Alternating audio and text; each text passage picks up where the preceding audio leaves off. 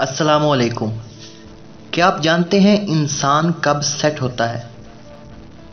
इंसान सारी ज़िंदगी सेट होने की कोशिश में रहता है। पहले सोचता है, पढ़ लिख लूँ, अच्छी नौकरी मिल जाएगी, या फिर अच्छा कारोबार बना लूँगा तो सेट हो जाऊँगा। नौकरी के बाद सोचता है, शादी हो जाएगी, बच्चे हो जाएँगे तो सेट हो जाऊँगा। शादी और बच्चों के बाद उनके मुस्तकबिल की फ़िक्र में लगा रहता है और सोचता है कि बस अब रिटायरमेंट के बाद ही सुकून में रहूँगा। रिटायरमेंट के बाद अपने पोते पोतियों की फ़िक्र में सोचता रहता है और यूँ उम्र का आखिरी वक्त आ पहुँचता है।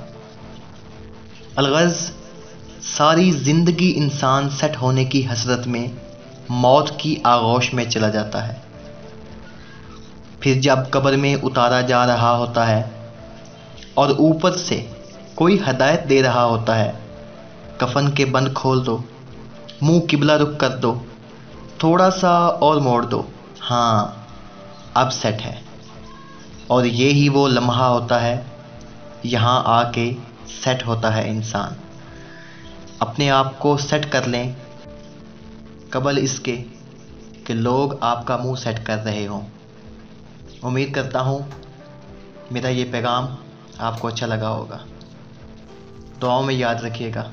अल्लाह हाफिज़।